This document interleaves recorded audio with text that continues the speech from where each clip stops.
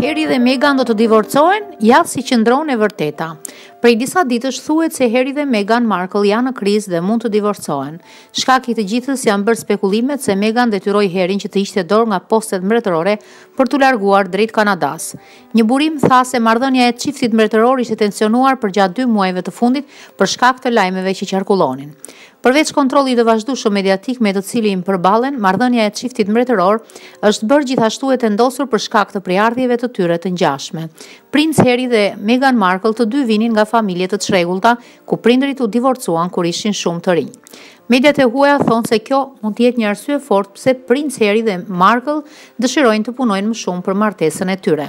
As Meghan as Harry nuk u rritën në një familje tradicionalisht të qëndrueshme dhe ndërsa flisnin në përgjithësi thonin se kishin një fëmijëri të lumtur, prandaj është e rëndësishme për ta që fëmijës së tyre t'i shtohen prindërit e tij në një lidhje të dashur.